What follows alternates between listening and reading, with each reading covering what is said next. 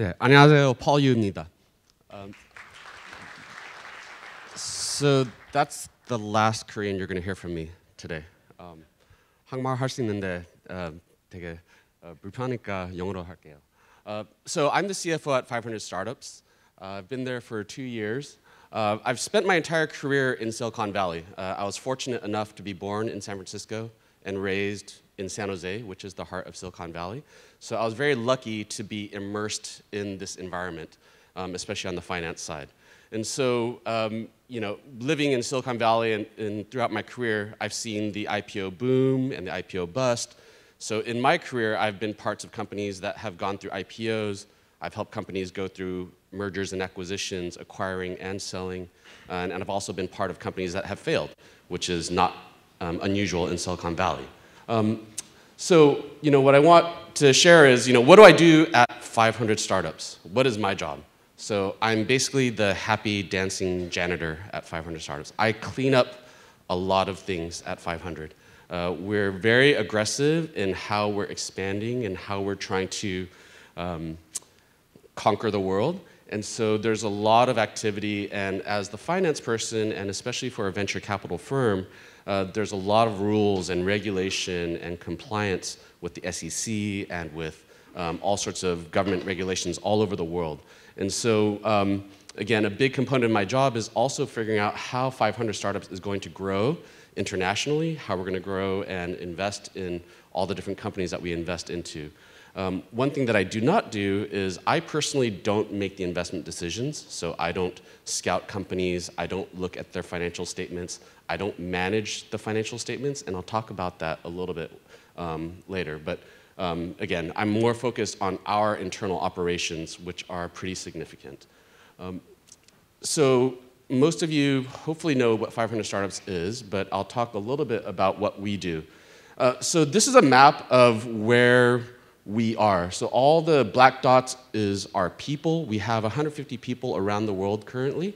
Um, they help us find great entrepreneurs, great founders, great companies, and also how to um, you know, get connected with the rest of the investment ecosystem. Um, we've got uh, almost 400 million in capital committed across around 15 funds. Um, we've invested to date um, uh, in about 1,800 portfolio companies around the world. And again, it is by far the largest portfolio um, in the world, and uh, we invest annually about four to 500 companies, brand new companies, every year. And so, again, you can see we invest everywhere. And one of the investments that we have is our uh, 500 Kimchi Fund. Uh, it's uh, it's uh, basically run by our 500 Startups Korea team. Um, Tim Chae and Haley and Min uh, help organize and help uh, run our operations in Seoul. Um, but the fund that we have thus far is about a $15 million fund, uh, investing primarily in Korean early stage seed to pre Series A um, companies. Um, and we're investing in about 15 companies per year in Korea. Um, we have about 30 companies right now in our portfolio, um, uh, six that were prior to the Kimchi Fund. And these are some of the examples of the companies that we've invested into.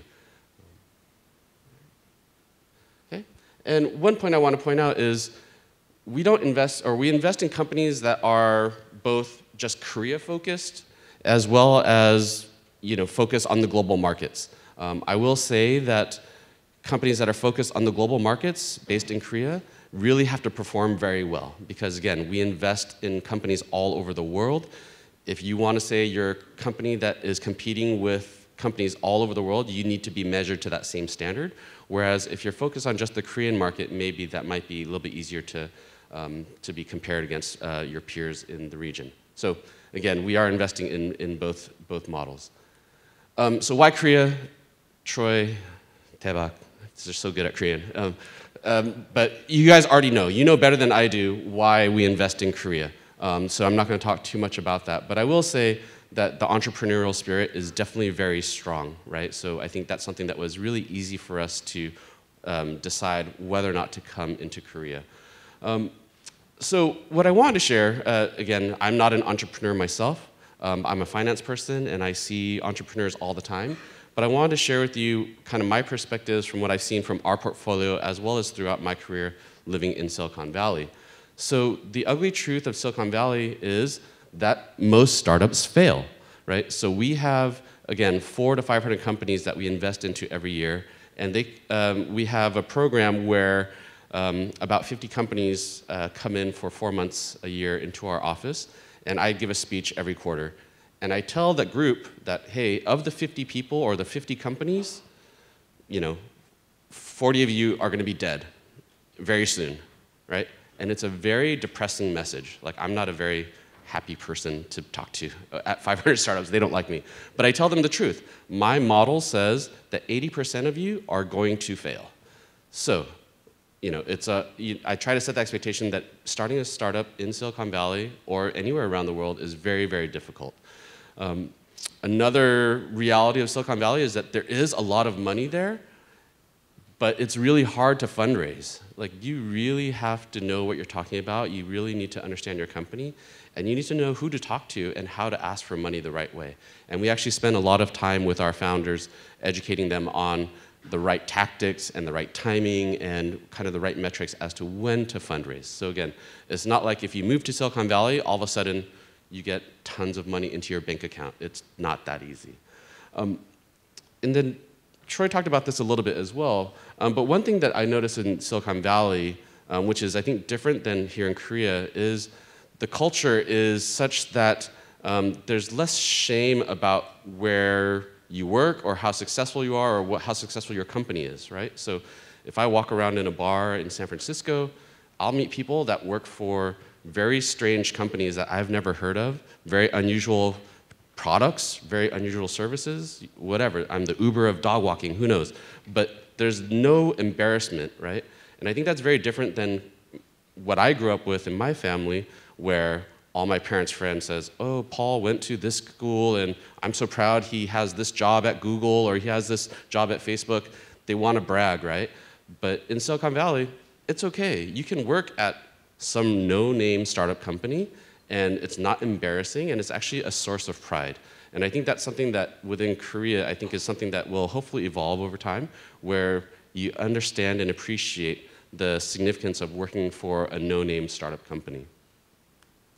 Um, and so again, talking a little bit about the financial aspects of, of uh, working at startups, um, you know, what I've learned from some of the founders, what I've seen uh, a lot of founders do that have uh, caused them to not be as successful as they could have been is that um, you know spending for revenue growth. It maybe sounds obvious but a lot of founders um, they try to figure out how to be profitable as soon as possible. So they're really worried about oh my gosh i only have $100000 in my bank account or $50000 in my bank account. I need to get profitable as soon as possible. Now for an early stage investor like 500 startups we don't care about profitability. We don't care how much money you're losing. We care about how fast is your revenue growing. Do your customers like your product? Do your customers like your service? You know, how do you prove that, right? Because again, we can solve for the profitability and the efficiency as you grow and as you mature. But at the early stage, we want to see like, is your product good? Is your service good? So really focusing on growing that revenue very early on is really, really important for, for early stage founders.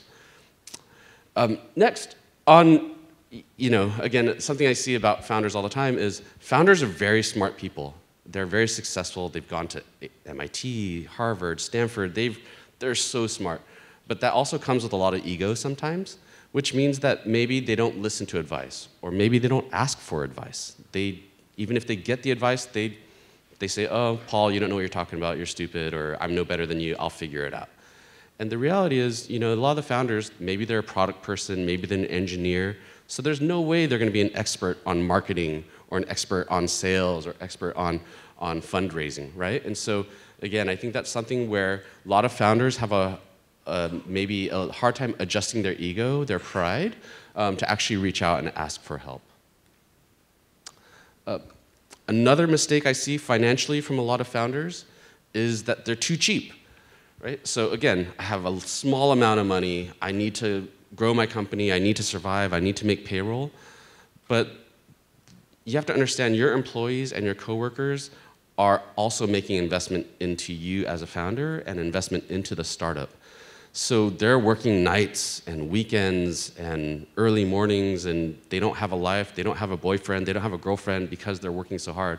And so I get a founder comes to me and says, Paul, I'm thinking about having a pizza party. Can I buy two pizzas Friday night?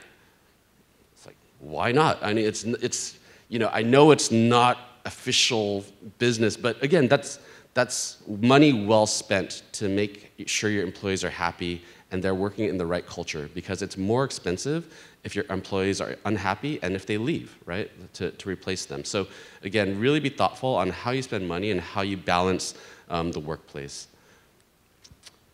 Uh, so this is one where I experienced this personally. Um, I've been part of startups where we thought we were just doing so well, we don't need to raise money, our revenues are going through the roof, um, so we'll raise money maybe later on when we're um, you know, we've got more revenue growth. Um, and what happens, right? Something changes, the market changes, whatever, then all of a sudden we need money really desperately. Um, and so what happens is we go to the banks, we go to the venture capital community, and we say, hey, we need some financing. And then all of a sudden get these really aggressive, non-favorable terms thrown at us as, as a company because we're not in a position of negotiating power, right? Whereas if we had negotiated or asked for fundraising maybe six months earlier, we would be able to say, no, we don't want the money now, we'll wait for a better offer, and you can negotiate. But at the last minute, we really can't negotiate because it's either take our deal or die, right? And so, again, most founders don't want to deal with fundraising. Dealing with fundraising really, really is terrible. Nobody wants to beg for money, nobody wants to show how well or how poorly they're doing. It's a really painful process. But as a founder, it is really important to focus on that aspect um, for the long-term success of your company. Um, and this is one that I care about personally because, uh, again, we have a portfolio of you know almost a couple thousand. It's really hard to get timely feedback from timely feedback from our um, from our founders, right? So, again, I mentioned that we have um, I mentioned that we have um, uh, you know, founders that invest in, or sorry, that we've invested in, and they are under the obligation to share with us uh, their financial condition, right? Every quarter, every month, whatever. They tell us, hey, I'm doing well. I have this much revenue this month. I have this much revenue this quarter. This is how much cash I have left. You'd be surprised. There's a lot of founders that don't share that information with us. And I can only imagine it's either because they're too lazy or too busy or embarrassed, right? I think those are three reasons why you wouldn't share that information. And what I tell them is, you, you know, the worst case scenario is we get a lot of companies that fail, right? Like I said, 80% of our portfolio will fail. And so if they tell me that they're doing well, that's actually surprising news to me. Like, wow, you're actually doing okay. I expect you all to be dying, right? But so when they share the news with me that, Paul, our company is struggling, our financials aren't good, we don't have cash, that's okay because now we have a chance to figure out a solution with them, right? We can say, hey, let me introduce you to these other venture capital firm that might be willing to invest. Or maybe have you tried this tactic with your marketing or your sales? And again, we would love to have the opportunity to help save them as opposed to getting the email after the fact saying, sorry, we died, too bad, right? And you know, I'll talk a little bit more a little bit later why that's so important to have that good relationship with your investors and to be honest and transparent as much as you can. Um, so I have about six minutes left. So this is a concept that, again, I talk about what's, um, you know, at least my understanding of Korean culture you know, how much pride we have, how much drive we have to be successful and to be considered the best at what we do. And so as an entrepreneur or as a founder, it's really intimidating to say like, okay, I'm gonna fail or I might fail at this venture, right? So what does it mean to actually fail, um, you know, as a startup, right? It means, hey, you created jobs for a group of people for a while, right? So that's great you know, you got to create your own company culture and you got to um, be your own boss and you got to work in an environment that you really enjoyed, right? Working on something that you think is really important. Um, you know, experience as an entrepreneur. We, when we invest and make our investment decisions, more often than not, we invest in the founder more than the product itself, more than the service. We want to know how good is this team? Are they experienced? Have they started a company before? If so, have they learned from their mistakes? Right? So you can only learn from your mistakes if you actually make a mistake first, right? You have to fail in order to figure out how to do things the right way. Um, and again, like I was talking about on the last slide, the meaningful relationships with investors and entrepreneur community, right? Being a startup founder puts you in a very, very cool club. You get to talk to other startup founders, you get to do networking, you get to learn a lot from these people, and you get to talk to a lot of rich people with a lot of money, and you get to establish a relationship with them. You know, sure, they may not give you money, invest in this company, but maybe your second startup or your third startup or your fifth startup, maybe then they're going to figure out like, oh yeah, I remember this guy from 10 years ago. I'm going to invest in him now. And that sort of experience and exposure is so valuable. It's really, really important, right? And so, again, I think, you know, when you think back to, okay, gosh, I failed as a startup founder, I think it's really important to understand what that means. And frankly, you know, we, you know, that's something that even growing up for me, whenever I would go at whatever the startup I worked at, my mom would always ask me like, "What is this startup? Like, how do I know this company is going to be alive in one year or two years? Why don't you go work for Google or work for IBM or Apple?" It's like, no, that's boring, right? Like, I don't, I don't want to do that, right? And you know, in America, it's okay, right? It's okay to work for a place that fails, and I think that's a cultural thing again that is really, really um, significant in Silicon Valley. Um, so I'm wrapping up now, but this uh, quote I think encapsulates what 500 Startups is about. When Dave McClure and Christine Tsai started the firm seven years ago, they were not experienced venture capitalists. They don't, they don't have a lot of money, or they didn't have a lot of money. But they said, you know what, we really want to invest in companies all over the world. We want to build ecosystems all over the world. We really want to change the world. Like, that was their mission. And they didn't know how to do it, but they tried. And I think we like to pass along that same sort of culture and mentality to the founders all over the world, right? Give you guys money, support you guys, but really give you the confidence that you guys can maybe have a chance to make this happen for yourselves, right? Whether it be here in Korea or in Indonesia or in Ghana or Nigeria, we really believe that there's smart people all over the world that are worth investing into, right? There's, again, we've invested in 1,800 companies, but trust me, there's thousands more of ideas that we haven't invested in and thousands of really great entrepreneurs that we haven't met yet.